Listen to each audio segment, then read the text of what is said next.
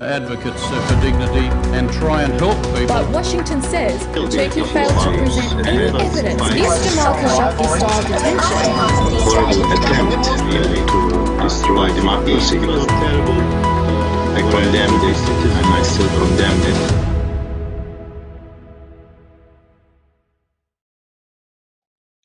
Ladies and gentlemen, welcome to our webinar titled What's Really Happening in Afghanistan? My name is Mehmet Saral and I'm the president of the Advocates for Dignity, one of the two partnering organizations that are bringing this panel to you this evening. Advocates for Dignity is a non-for-profit advocacy organization that seeks to, the rule of law, democracy, and fundamental human rights and liberties which also has a special focus on Turkey and its citizens abroad. This is AFD's fourth webinar panel this year and eighth since last year, since the COVID pandemic lockdowns hit Sydney. We had earlier last year conducted face-to-face lectures and programs, but these seem like a distant memory. Our partnering organisation tonight, uh, Masood Foundation Australia, is a Sydney-based non-for-profit organisation that's fostering an enduring relationship between Australians and the people of Afghanistan. So, the panel tonight who's to blame for the Afghanistan chaos? International conflict in Afghanistan began in 2001, triggered by the September 11 911 attacks, which are three days away, the anniversary of that, and consists, consisted of three phases. The first phase, toppling the Taliban, which was brief and lasted just two months and the second phase from 2002 to, until 2008 was marked by the US strategy of defeating the Taliban militarily and rebuilding core institutions of the Afghan state. And the third phase began in 2008 to temporarily increase the US troop presence in Afghanistan.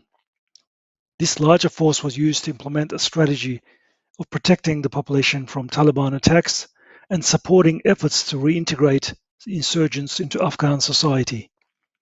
Strategy came coupled with a timetable for the withdrawal of the foreign forces from Afghanistan beginning in 2011. Security responsibilities would be gradually handed over to Afghan military and police. The US and NATO formally ended their combat mission in Afghanistan in 2014 but retained a reduced force of approximately 13,000 troops to support and train Afghan troops until a reduction was implemented in 2020. A full withdrawal of US troops initiated in 2020 and continued in 2021 anticipated the end of the US deployment to Afghanistan, but the resurgence of the Taliban during the withdrawal returned the country back to where it started when the US forces arrived 20 years earlier. In this webinar, former ABC Radio national host John Cleary will moderate a panel with Professor Amin Saikal, the adjunct professor of social sciences at the University of Western Australia and an expert on Middle East and Asian studies, and Professor William Maley, who's a professor of diplomacy at the Australian National University and an expert in Afghan politics, to explore the question what's really happening in Afghanistan. Whilst Professor Amin Saikal is of Afghan origin, Professor William Maley has written five books on Afghanistan, so we have the two experts here this evening to answer these questions. Without further ado, I'd like to introduce our moderator for the event. John Cleary is a veteran ABC, veteran ABC radio broadcaster and one of Australia's best known commentators on religion. In his 30 year career with the ABC, he has worked extensively in both radio and television, but is known principally for his association with Sunday nights on ABC local radio and the Religion Report on ABC Radio National. John began his career in Perth, where he was one of the original Compass team um, on ABC TV and co-presenter of the philosophy program Meridian on Radio National on, in the 1990s. For several years, John also appeared in a regular slot on the ABC Youth Network, 2JJJ. His 1992 book on the Salvation Army in Australia was awarded the Christian Book of the Year, and in 2008, John has hosted uh, was the host of the interfaith event held by the Catholic Church in conjunction with World Youth Day and the visit of Pope Benedict XVI. These days, John is in high demand as a conference moderator. Over to you, John. Thank you. Mehmet, thank you very much. And welcome to this evening's discussion as events continue to unfold in Afghanistan by the hour. And as we all look to understand what's really happening and what it may mean for all of us. So let me uh, give you a few more details on our participants. Emeritus Professor William Maley is a past Professor of Diplomacy at ANU from 2003 to 2016. Amongst much else, he is the author, as Mehmet has indicated, of three books on Afghanistan Rescuing Afghanistan in 2006, Transition in Afghanistan, Hope, Despair and the Limits of State Building in 2018, and most recently this year, 2021, The Afghanistan Wars. Professor Maley is a Fellow of the Academy of Social Sciences at the Australian Institute of International Affairs. He's a recipient of the Austcare Paul Cullen Humanitarian Award for Services to Refugees. Our other participant is Emeritus Professor Amin Saikal. He also brings a rich history. He was born in Kabul, Afghanistan, and is currently adjunct professor in the School of Social Sciences at the University of Western Australia. He's a former director of the Centre for Arabic and Islamic Studies and a distinguished professor of political science at ANU. He's been a visiting fellow at Princeton and Cambridge universities and at the Rockefeller Foundation. Both Professor Saikal and Professor Maley are widely published and regularly sought of as commentators in print, radio, and television, both in Australia and internationally. Welcome to you both. Good evening. Amin Saikal, perhaps I can ask you first. Uh, given the speed at which events are unfolding and the consequences, known and unknown, are yet to unfold, this evening presents an opportunity to gain some understanding of the background to and possible directions of those events. And today we've seen announced some form of government has been established by the Taliban. What do we know about the nature of that government and broadly some of the personalities? Well, thanks, John. I mean, uh, as you said, the Taliban uh, have announced uh, interim government, uh, which is composed of Prime Minister and a number of ministers. Uh, the Prime Minister is uh, Mullah Hassan Akhund. Uh, he is on the United Nations blacklist for unsavory activities in the past. And the Interior Minister is the head of the Haqqani network, which was um, de- designated by the United States as a terrorist organization a few years ago, and also uh, this uh, Haqqani network has got very close links with Al Qaeda as well as the Pakistan's powerful military intelligence, ISI. And he is uh, on the FBI uh, wanted list uh, for terrorism and, of course, also for killing of a number of American soldiers uh, in, a, in a few operations in the past. So this is a very a, a terrible lineup that the Taliban has come up with. If they wanted to really gain the support of the Afghan people, or for that matter, any degree of international legitimacy, I think they've just simply botched it. I doubt it very seriously that uh, any country in the world, and more specifically the Western democracies, uh, will uh, find it uh, conducive uh, Uh, to uh, provide the support, or for that matter, recognition to uh, the leadership, uh, which is very much full of uh, accused terrorists or erstwhile terrorists. Uh, and I think that's why that there is a resistance going on in Afghanistan, and I would expect that this resistance will gather pace as uh, Taliban continue their brutal theocratic behavior in establishing that sort of order.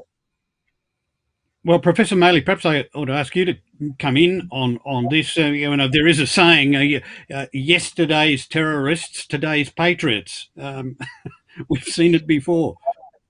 Uh, yes, I don't think it will work out quite like that for the Taliban. Uh, Australia has a particular problem with Sirajuddin Haqqani because he was the mastermind of an attack on the Kabul Serena Hotel in 2008 at a time when the Australian Embassy was actually physically located within that uh, hotel. Uh, the uh, lineup of individuals in this uh, sort of so called government um, is, in a sense, a signal that the Taliban are really indifferent to the concerns of the wider world. There had been quite a lot of talk. Mm what you might call the peace industry to the effect that the Taliban would be desperate for recognition uh, and that uh, the prospects of international aid being withheld if they didn't moderate their behavior would lead them to do just that. This seems highly unlikely now. It's very clear that uh, rewarding different factions within the Taliban has uh, dominated any international concerns where cabinet making is concerned uh, and uh, made it very, very difficult for Western governments that might have been contemplating developing some kind of pragmatic relationship uh, with the Taliban to go any further than that. Uh, in the Australian case, Australia only recognises states, not governments, so there's not an immediate challenge for Australia, but it's very difficult to see how governments in Europe, for example, would uh, uh, go anywhere near this particular group. Uh, uh Sirajuddin Haqqani was behind a big bombing uh, that destroyed the facade of the German embassy uh, in Kabul a few years ago and was known to have that particular role. So, really, it's a, a slap in the face for Western governments and potential Western donors for this kind of regime to be presented, quite apart from the fact that it's manifestly not inclusive at all, exclusively male, Pashtun dominated. There's not even uh, a, a, vestige of concessions towards inclusivity in this particular lineup. Uh, and again, that uh, is a blow to uh, people who naively thought that the Taliban would be reaching out to other social groups in Afghanistan. Mm. Well, perhaps I could ask you both to help us with the background of this. I mean, historically, um, to uh, any number of school children of, uh, of a certain era. Uh, Afghanistan was known as the graveyard of empires. I mean, the British failed at Kabul in the 1840s when a badly wounded Dr. William Brydon, lone survivor of a British army of some 16,000, reached Jalalabad and was asked, Where's the army? And he responded, I am the army. And in our own era, the, the Soviets failed in the 1980s. Now the US seems to have failed. Are there common threads here that relate to the nature of the peoples and the, the very nature of the way the country, as a country, has operated uh, in a series of ethnic and religious enclaves, or, or how, for those of us who don't understand, has the country succeeded in being what it has for so long? Uh, Amin Saikal. Well, eh, John, Afghanistan is the only country in the world that has been invaded by the three major powers of the last two centuries. And as you pointed out, Great Britain, and then, of course, the Soviet Union in the 1980s, and then the United States and its NATO allies in 2001. And uh, the, of course, they stayed for much longer, the Americans and their allies stayed for much longer in Afghanistan than the Brits did, or for that matter, the Soviets.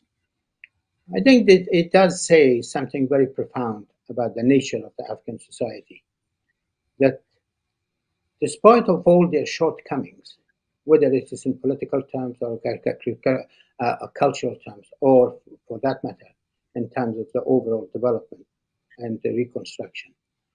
They have been a very freedom loving people in a lot of ways, and they have not really accepted foreign impositions. But this is really the first time that uh, Pakistan has really succeeded in backing a proxy force which has managed to, to gain control over Afghanistan. But that's because of the very strong cross border relationship between the ethnic Pashtuns, who have historically constituted something like about 42% of the Afghan population, and they've never really been a majority. Uh, in fact, Afghanistan is truly the land of minorities, and there is no majority group. And uh, of course, there's cross-border uh, uh relationship uh, between the uh, ethnic Pashtuns in Afghanistan and also the ethnic Pashtuns on the Pakistani side of the border. Of course, Pakistan has got um, three times more Pashtuns than Afghanistan. And the Pakistanis have always really thought of Afghanistan as an area where they can uh, uh, cultivate or build uh, their strategic interest. And uh, that has also largely been motivated by uh, Pakistan's uh, conflict with India And the Pakistanis finally have gained, in many ways, the upper hand by enabling their the proxy force uh, to gain control of Afghanistan, which it means that also as an indirect control of uh, Pakistan over Afghanistan. So in many ways, this is a really uh, Pakistan-backed invasion of Afghanistan. And this is not something really new. The Pakistanis really tried, tried it uh, after the Soviet withdrawal um, uh, uh, in, in, in, backing uh, Gulbuddin Hekmatyar's group as a protege in order to gain full control of, over Afghanistan, or what General Ziaul Haq said, the, the, strategic depth, so that they will have sufficient influence in a country like Afghanistan, that in the event of a war with India, they will be able to rely on Afghanistan as a job, uh, uh, as a backup. Uh, in order to confront the main regional foe that is India. So uh, I think this is probably the first time that uh, perhaps the Pakistanis have succeeded more than any other foreign power to actually have a very strong cross-border um, proxy force uh, to uh, uh, control Afghanistan. I'd like to pick up on that uh, Pakistan observation in a few moments' time, but just before we do that, uh, uh, Professor Maley, just on the the composition of Afghanistan as a country, if it is as regionally independent as seems to be indicated, what does this mean for the Taliban, hoping to get some form of centralised government operating out of Kabul? Uh, well, the Taliban have stated very clearly that they aim for a centralized state rather than a diversified state. I think they're going to run into a lot of difficulties, uh, not just because the desire to centralize tends to run against the desire for people in different uh, communities within Afghanistan to run their own lives, but because the Afghanistan in which they're operating now is a very different one. Uh, it's much more globalized than was the case 20 years ago. And the Taliban, and uh, with their Pakistani spearhead, are much more configured to attack than to govern. Uh, and uh, that's why I suspect that they're having a considerable difficulty now coping with the popular demonstrations that are breaking out in different parts of Afghanistan in objection to the kind of repressive policies which they're trying to impose. It's worth noting that in 2019, the Asia Foundation conducted a very sophisticated survey in Afghanistan, which found that 85.1% of respondents had no sympathy at all for the Taliban. Uh, and hmm. uh, that is part of the context within which the Taliban are now trying to assert control. Um, it's very clear to people within Afghanistan what's been going on, and we've seen demonstrators in uh, Kabul chanting death to Pakistan uh, in reflection of their clear understanding that this has been a creeping invasion of Afghanistan. This is where I think the current situation also differs from the situation in the 1980s. There was support given to the Afghan Mujahideen against the Soviets, but the Mujahideen were uh, an internal indigenous movement uh, animated by uh, Afghan concerns whereas the Taliban have been much more a tool of Pakistan's geopolitical objectives within the region. Uh, and that has provoked a great deal of anger on the part of people within the Afghan population who are now much more networked to the wider world than ever was the case in the past. So, uh, under those circumstances, I think whilst we may not see the same kind of opposition that was manifested in the 1980s, the Taliban are quite likely to run up against what social scientists have called contentious politics, the politics of protests and demonstrations, uh, which can be very difficult to manage because they don't necessarily depend upon there being a single leadership that can be decapitated. Um, mm. They are often a product of spontaneous anger which is only likely to mount in Afghanistan because of the deteriorating economic circumstances, with uh, few, if any, international donors wanting to let any of their money fall into the hands of the Taliban. Can we speak about any strong regional differences, say, for instance, between the urban concentrations of the larger cities and the rural population? Are there any, is the Taliban influence different in, in those centres, in that divide? Well, possibly, but one would want to avoid exaggerating that. I saw an American journalist the other day talking about the two Afghanistans, and I thought, oh, only two. Uh, uh, there's been a lot of social change in Afghanistan in recent years. A lot of people moving into the cities. That uh, uh there are now millions of Afghans living in urban areas rather than in rural areas, and it's often the control of urban spaces which is critical to the establishment of a regime's reputation for uh, ex- exercising domination. Uh, there's also been work done by the Afghanistan Analyst Network, which suggests that the notion that rural women are sort of happy with their lot uh, and aren't represented by the views of their urban um, sisters really doesn't stack up. That it's that's very much a kind of comment that Western male journalists have made without actually having the opportunity to engage as extensively as more sophisticated researchers with uh, uh, with women in rural areas. Uh, media like television and mobile phones have been penetrating quite rapidly into rural areas in Afghanistan, and that begins to change the nature of social relations.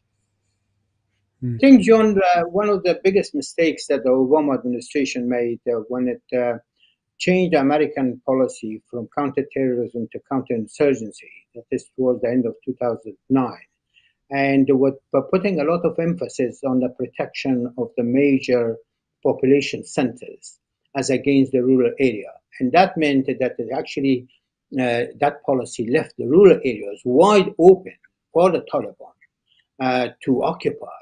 And then subsequently, that really helped them to basically surround the uh, um, major population centers and then simply choke those population centers. And that was one of the reasons that some of these uh, population centers uh, fell very easily to the to Taliban over the last uh, few weeks. And of course, there's also mm, a lot of um, money changed hands because a number of commanders were bribed, and the Taliban have done that before. The, uh, Afghanistan has been prone to that sort of thing uh, historically, but and a number of other commanders just simply sided with that Taliban for ethnic, uh, uh, ethnic on the basis of ethnic relationships and so on. But I think one of the things that I see that's been done, and I think that was really wrong, to uh, leave the rural areas wide open to the Taliban, and that that, I think now that uh, not only the Afghan people but also I think the international uh, community will play pay play pay a very high price as, simply because as I think you know, uh, this is the first time that actually an erstwhile terrorist group has managed uh, to gain uh, the leadership of Afghanistan and also uh, lay its hands on a very large amount of armaments and uh, also have a potential air force. Uh, which uh, no terrorist group ISIS or the so-called Islamic State didn't have it, and Al Qaeda didn't have it but now the Taliban has it. That's not to say that they will be able to operate the Air Force uh, uh, very quickly and so on, but then they, they, will receive considerable amount of support from their Pakistani supporters and they will be operating it. In fact, uh, the, uh, the, the, resistance in Panjshir just a few nights ago uh, was uh, bombed from the air and from the ground and the Taliban do not really have at this point an air force. And the reports suggested that it was uh, uh, uh, done by drones and the uh, Taliban do not have drones. So it must have been uh, really uh, with the aid of the Pakistanis. Hmm. You both seem to be suggesting that um, Africa, that the Taliban do not represent a sort of nationalist wave, as we've seen, say, in Vietnam, with the linkage to uh, the Viet Cong and some sort of nationalist uh, impact behind it uh, 25 years ago what we're looking at now is something that's been linked by both of you to Pakistan and Pakistan's interest. Yet the Pakistani government, uh, several times over the last few days, have been at pains to, uh, to, stress they have nothing whatsoever to do with this, that they're no, not within a thousand miles uh, of the issue. Uh, Professor Maley, you're smiling. Yes, I'm smiling. Uh, in uh, the memoirs of the former US Secretary of State, uh, George Shultz, there's an account of uh, a telephone conversation between President Reagan and President Zia ul Haq uh, of Pakistan after the signing of the Geneva Accords of 1988. And uh, Reagan somewhat ingenuously asked Zia how he would continue to aid various Mujahideen groups when he'd promised in uh, the agreement he just signed not to do so. And Zia said, oh, We'll just lie about it. We've been lying for years about what we're doing in Afghanistan. And that should be uh, really posted on the notice boards of every policymaker in London, Washington, uh, Paris, Berlin, who happens to be dealing with uh, Pakistan. Uh, it's, it's simply not the case that uh, anything that uh, senior Pakistani officials say about Afghanistan can be trusted for one moment. We have several players involved in this. I mean, regionally, Afghanistan is uh, is central to uh, to several countries, and uh, and it was for some time. There is a this was part of the reason why the US was there. I mean, on the um, on the west you have Iran. Uh, to the north, you have the stans, Turkmenistan, Uzbekistan, Tajikistan, all of which are of vital concern to Russia. Uh, on the east, Pakistan, as we've already indicated. Um, we've got some idea from uh, Professor Saikal uh, of what Pakistan's interest is in here. It, it simply wants Afghanistan in some ways as a shield for itself. Um, what are the other players in this game? We haven't mentioned China either, but let's just talk to those who have got sort of close and immediate borders who may have um, interest in the game here. Professor Saikal. Well, Perhaps I think Iran. the fact that well, I mean the fact that Afghanistan is at the crossroads, it's a both a blessing and also a curse. It could be also a hub of connectivity or uh, the highway of uh, conquest and invasions, and that's what uh, really defines the historical evolution of Afghanistan in many ways. Uh, certainly, I mean, uh, uh, Iran, uh, Russia, and China uh, are absolutely delighted to see the back of the Americans, uh, you know, from the uh, region, and uh, uh, also uh, not only uh, you know the United States being defeated, but also uh, humiliated uh, as much as possible, uh, and for that matter, also uh, supposedly the world's uh, most uh, significant military alliance, that's NATO, being defeated. I mean, it's not just a, a- an American defeat, but also NATO's defeat. But on the other hand, I think the Iranians are going to be also cautious and uh, the, the, the approach to the Taliban, uh, uh, simply because, as you know, that uh, the, Iran is a, a Shia-dominated state with a, a Shia-dominated government, uh, and uh, so Afghanistan, something like 15 to 20 percent of Afghan population is made up of followers of Shia Islam, and therefore the Mhm. Iranians will be quite concerned. In fact, the Iranian uh, uh, Foreign Ministry spokesperson uh, uh, yesterday, Mr. Qudzada, who was questioned on the on the issue of Afghanistan and on the report, and that Pakistani drones may be may have been used in the attack on the Panjshir Valley. Uh, and he said that uh, that is a matter of concern for them, and they will launch an investigation to uh, to see whether actually the Pakistanis were involved. And I think that also basically highlighted that serious concern about the situation. I think the Central Asian republics would be sort of concerned simply because that uh, uh, the victory, or, or this is how the world would really see it on the surface, is a victory for the Taliban.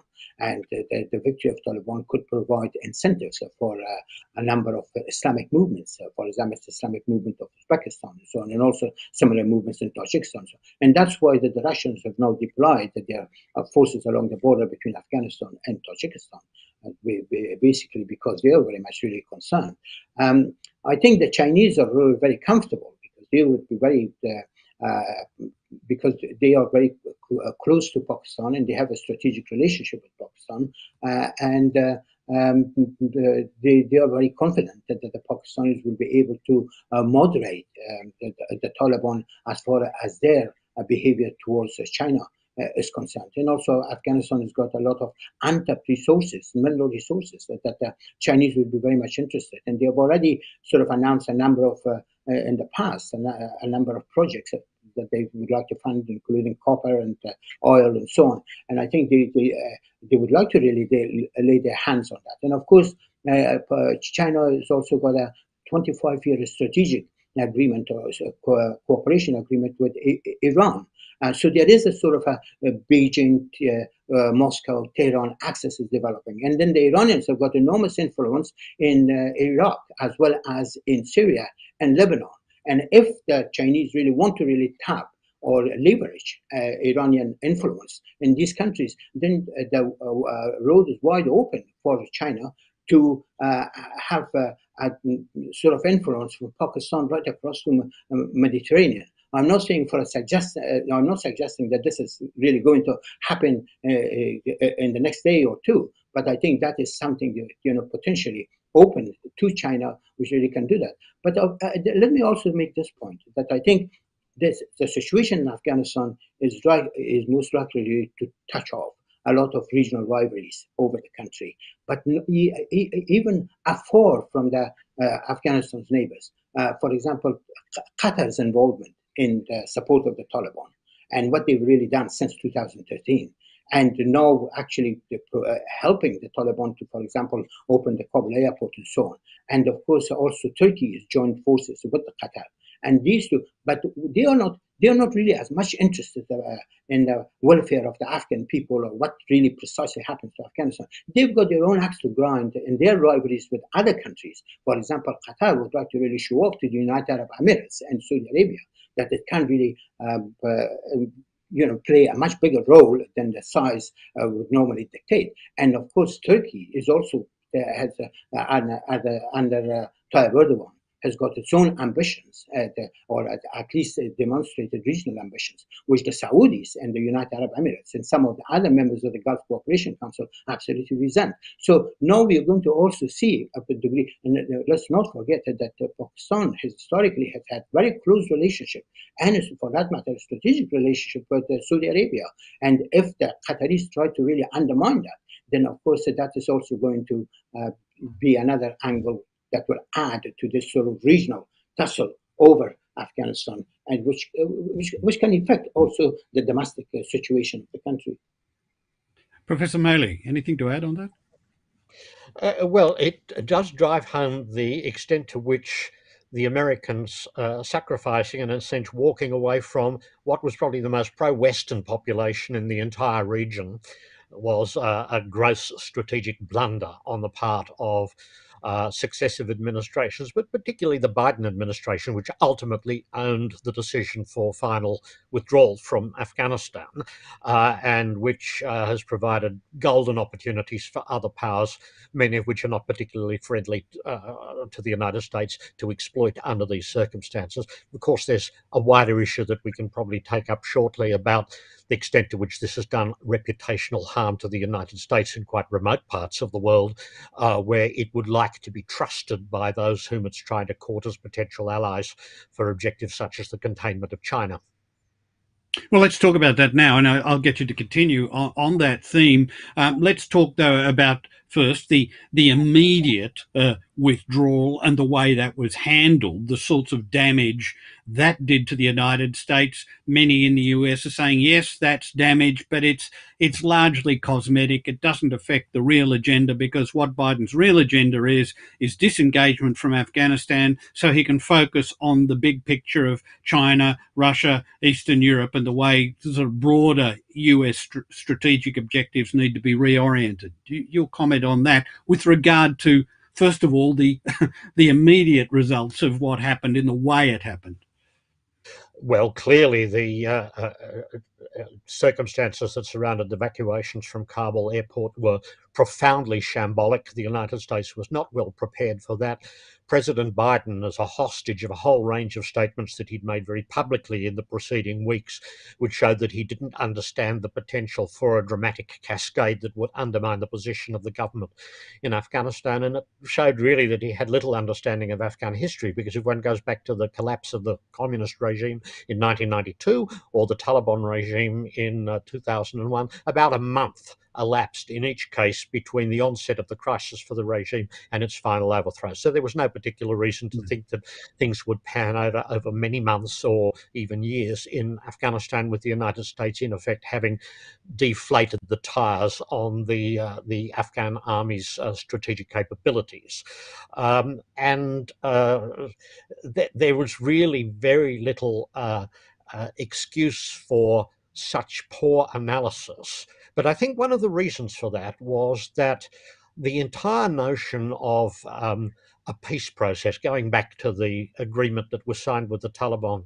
on the 29th of February 2020, had led to the building of what um, Kate Clark of the Afghanistan Analyst Network called fantasy castles, where people were spending a great deal of time thinking about how women's rights might be constitutionally protected uh, in a regime where the Taliban were working with other Afghan political forces.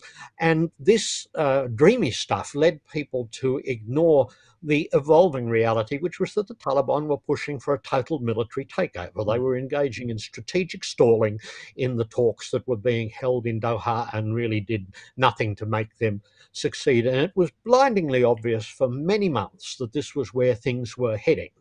Uh, and yet, so many people had locked themselves into myth- the mythology that there was a meaningful peace process in play that it left them bereft when finally the crunch came.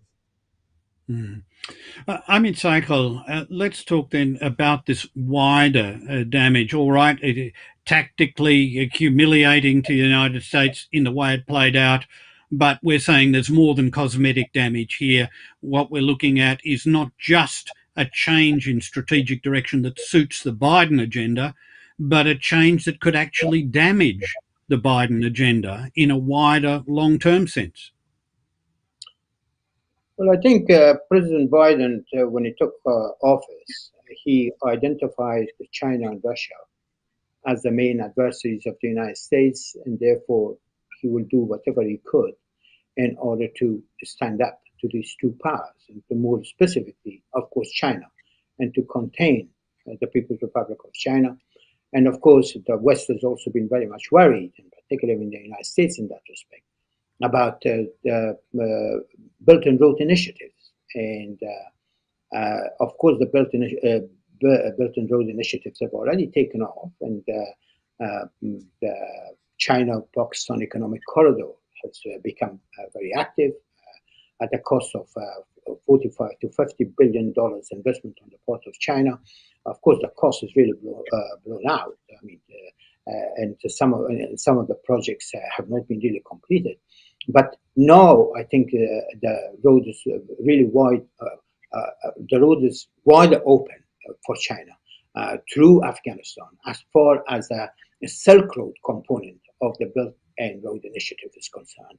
And with the 25-year uh, cooperation agreement that they have signed with uh, Iran, uh, which should not which will not only bring in a lot of Chinese investment in Iranian in infrastructure industry, but also know, very strong uh, military and intelligence cooperation between the two sides. And the Iranians will be very much receptive to uh, the uh, Road component projects to, come to, through, and they will be very happy to be really part of that. And of course, Turkey is also very wide open to that. So, uh, uh, you know, on the one hand, uh, President Biden wants to really push for this pivot to Asia and therefore containment of China and all, all these sort of things. On the other hand, they've actually opened a new arena for China to expand its influence, which the United States now, by vacating Afghanistan and the way they've done it, uh, they, they, they, they, basically um, told the Chinese that uh, you're most welcome to this part of the world. Uh, and, and, of course, the uh, uh, Belt and Road Initiative also includes the Middle East and Africa, particularly through Morocco and so on.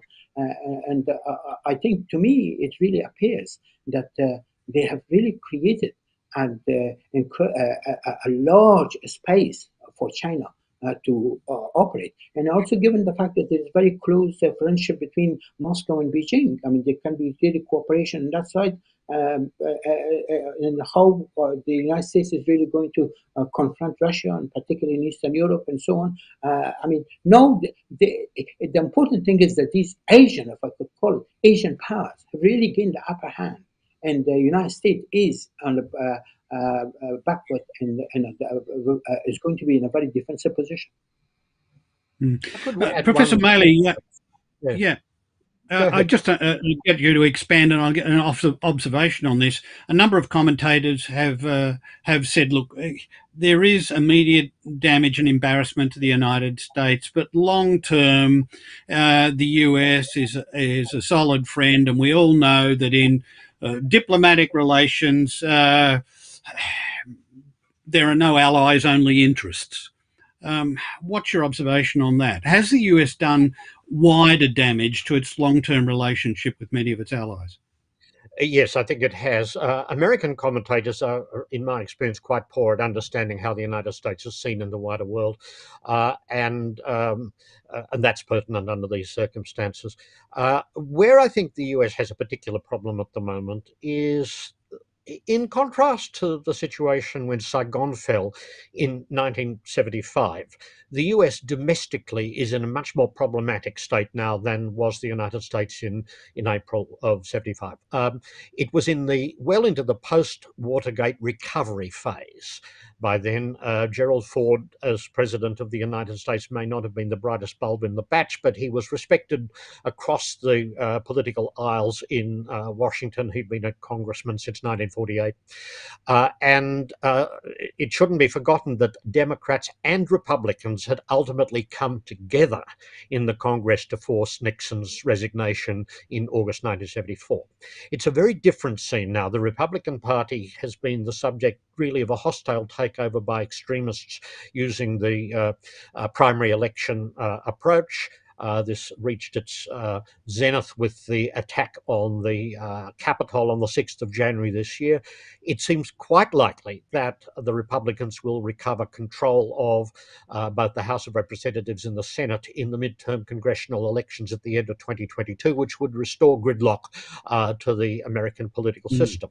And uh, the combination of a gridlocked and dysfunctional domestic system and disastrous blundering of the kind that's been associated with the diplomacy with respect to Afghanistan and then the uh, extraction of forces from Afghanistan really would have to raise, uh, in the minds of anyone who wasn't completely demented, questions about just how reliable the United States could be as a, as a partner. In, in a sense, the lesson of Afghanistan is that the United States will hold the line only until, through its own domestic processes, it reaches the conclusion that it can no longer be bothered doing so.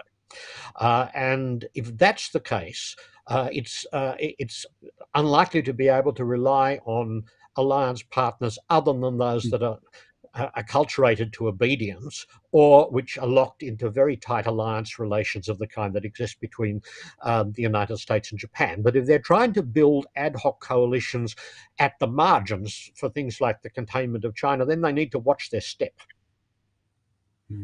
Mm-hmm. Uh, I mean, Saikal, I, am going to turn now to uh, some questions we have from um, many of our viewers who've uh, who've uh, been busy sort of asking their own questions and have typed them into us. Um, but somebody's got a, a, personal question that relates to you. I wish to find out the welfare and whereabouts of my friend Mahmoud Saikal, brother of Professor Amin Saikal and former ambassador Afghanistan to Australia. He is fine and well. He is uh, uh, back in Canberra.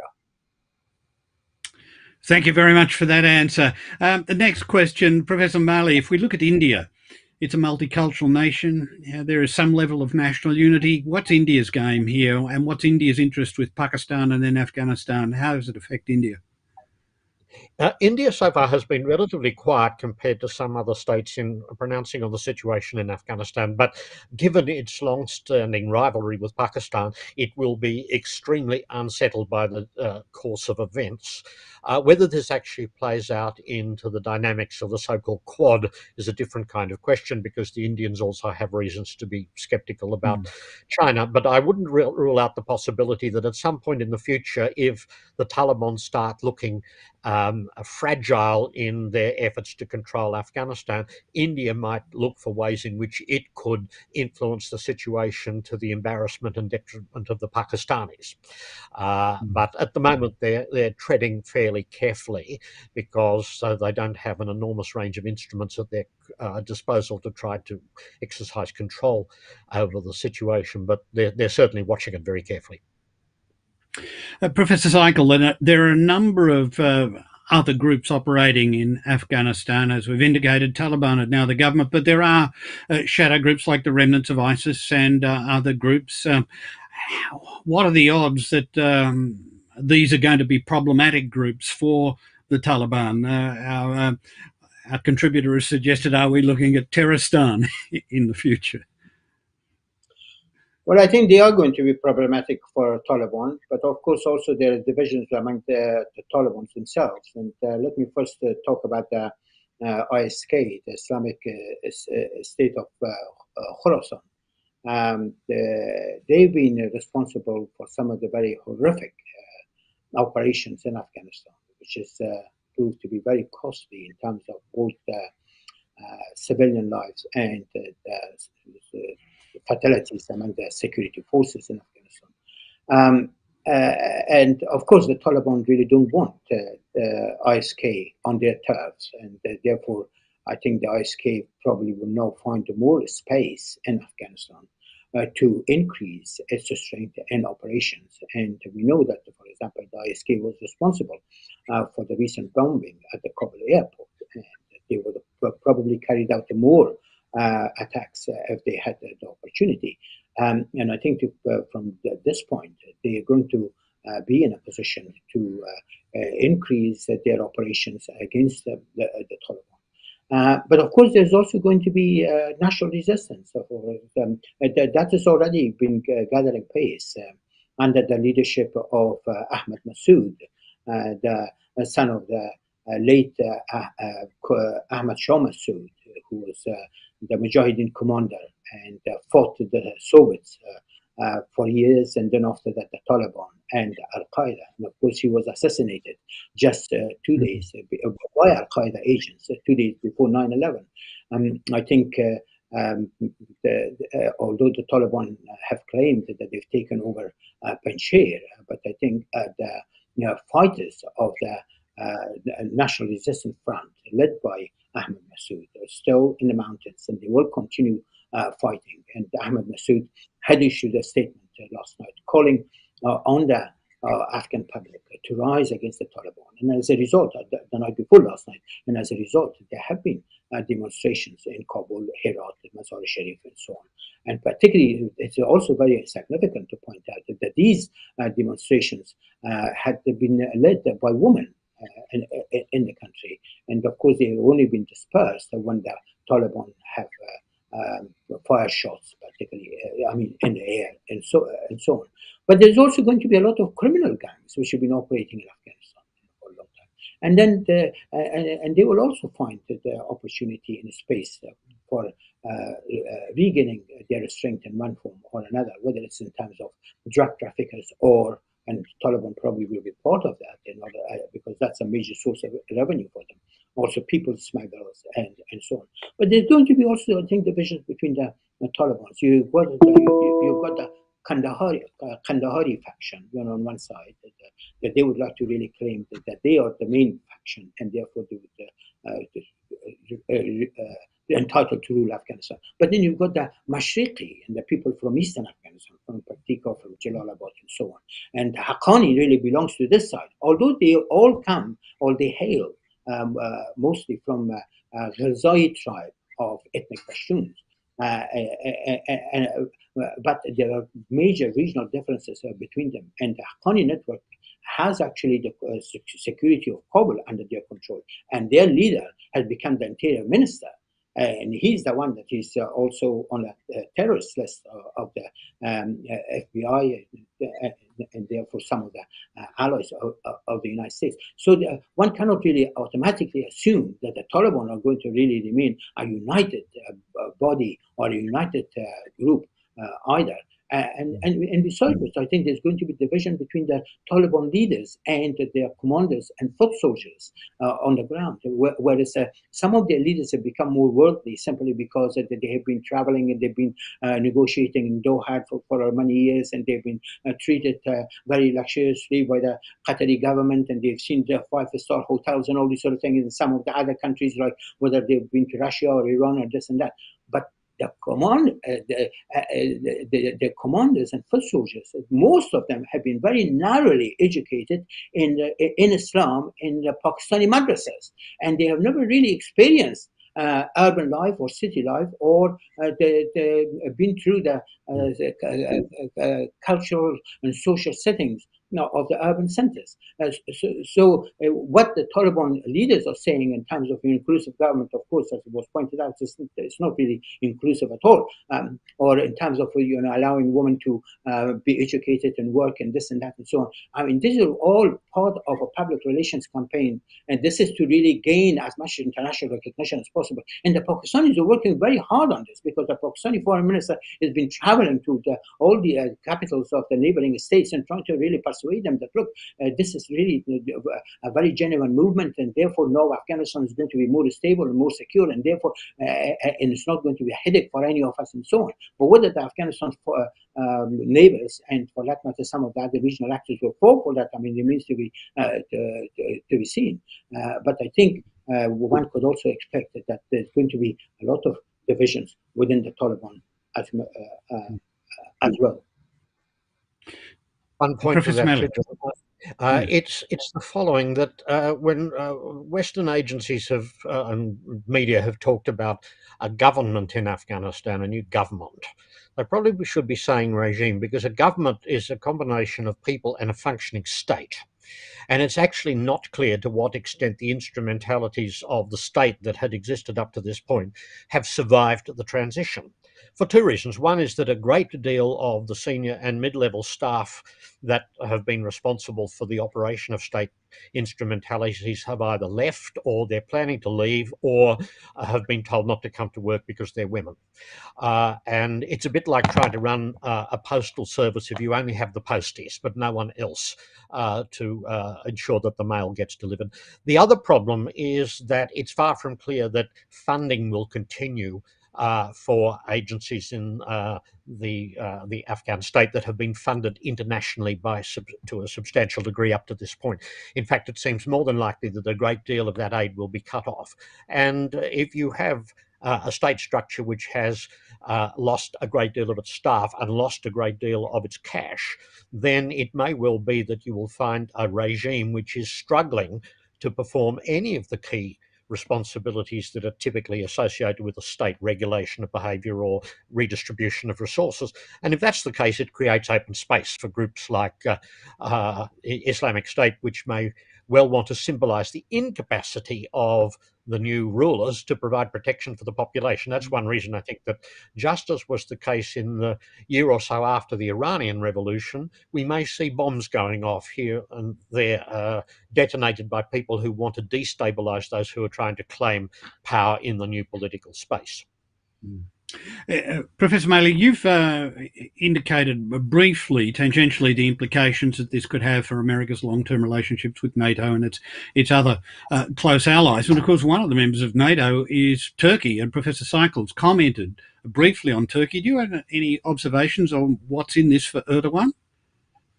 Well, Turkey does have a relatively long uh, history of recognizing relatively swiftly regimes that uh, come to uh, power in Afghanistan. But I think they would need to tread very carefully under these circumstances because if the Taliban are still in uh, a febrile condition, uh, states that might rush in uh, to try to find space in uh, a new Afghanistan would run the risk of getting their fingers burned very seriously. Uh, and uh, if, if I were Erdogan, I would be uh, pretty careful about engaging with the Taliban uh, at the moment. Uh, it seems to me that a lot of observers outside Afghanistan are overestimating the extent to which the Taliban have managed to consolidate their power within uh, Afghanistan. It's very early days for them. Um, the kind of force that they have used in order to eliminate their opponents is not the kind of force uh, that is actually required to exercise control. And uh, it's worth remembering the comment that Edmund Burke made in the 18th century when he, he said, a, a, a people are not governed that have to be perpetually conquered. Uh, and that is uh, a pretty good encapsulation of the situation in Afghanistan just now. Well, we're reaching the uh, appropriate final moments, and Professor Saikal, perhaps you could give us your uh, comment and perhaps some closing remarks from your perspective. Well, I think uh, just in the last comment, I mean, that is true that I think uh, Erdogan has to be very cautious and very careful.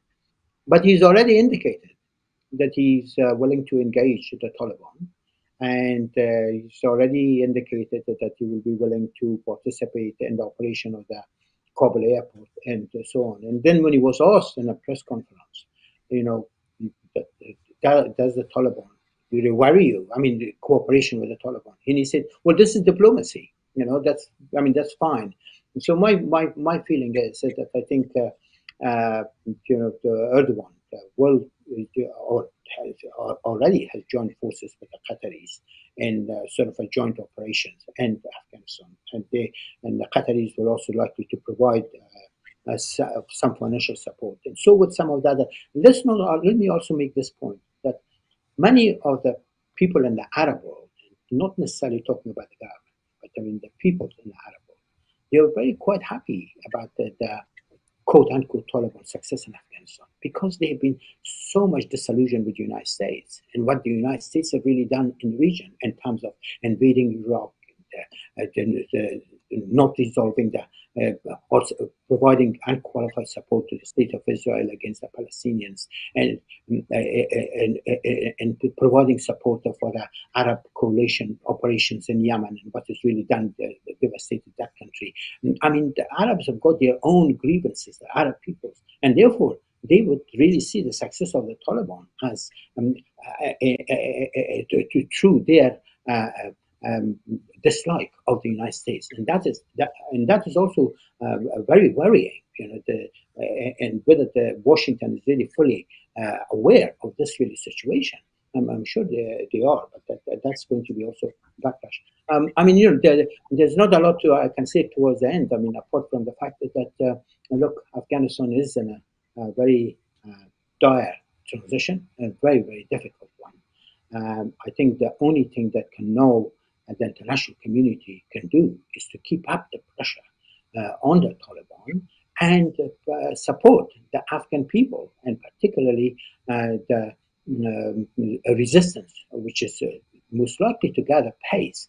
Uh, of course, not uh, you know, not going to be nationwide immediately, but over a period of time, I think that is really likely to expand, just in the same way that sort of expanded, you know, against so uh, against the Soviet occupation of the of the country. Of course, this time really no power is really behind the uh, Afghan people, uh, but that's not to say that a number of countries are not terribly concerned about what is really happening to Afghanistan in terms of their own interests. I mean, one can really expect uh, India and, for that matter, the Iranians, and to some extent even the Russians and so on, uh, to well, finally come to the conclusion that perhaps it is not a really good idea to uh, let the Taliban to have a free ride in Afghanistan.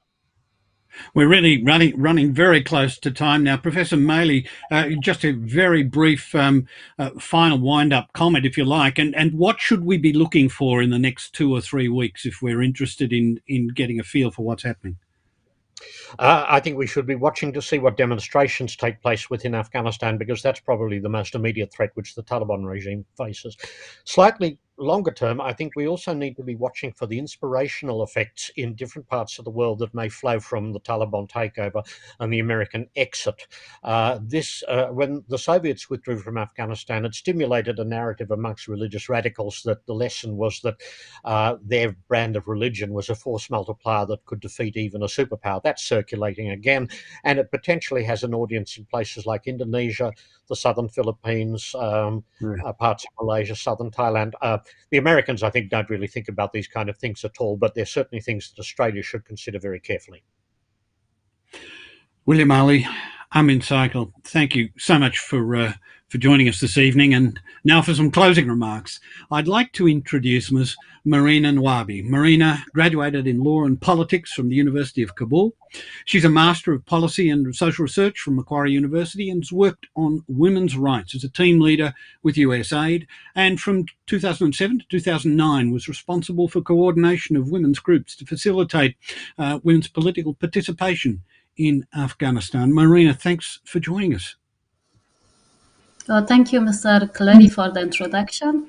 And yes, I would like to take this opportunity on behalf of Masood Foundation Australia to thank uh, Mr. John Cleary for moderating the panel tonight and thank our speakers, Professor Amin Saikal and Professor William Maley, for their valuable time and insightful analysis of the current situation in Afghanistan. And I'm hopeful that webinars like this will help us gain international attention, advocate for our people, and give them a voice. And I would want to also express my gratitude to the organizers and partners, advocates for dignity, and Masood Foundation in Australia for putting together such an important and informative webinar. And uh, I would like to also thank our technical team at the background of the webinar.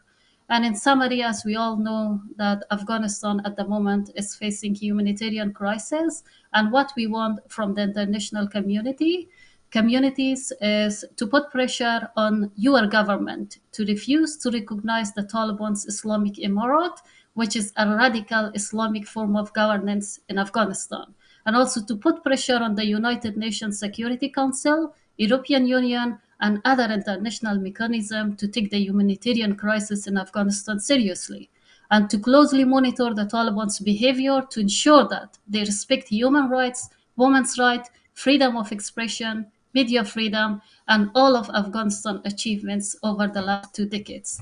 And the last, we want uh, to put on your government and international community to provide humanitarian assistance or aid to the people of Afghanistan. And let's fight together for a world free of violence, terror, and radicalism. And thank you once again, everyone, for attending the webinar this evening. And I hand it over back to Mr. John Cleary. Thank you so much. Thank you, Marina. And on behalf of Advocates for Dignity, I'm John Cleary. Thank you for joining us. Good night. Advocates for dignity and try and help people. But Washington says Turkey failed to present any evidence is Jamal Khashoggi-style detention. attempt really to destroy democracy. It was terrible. I condemned it and I still condemn it.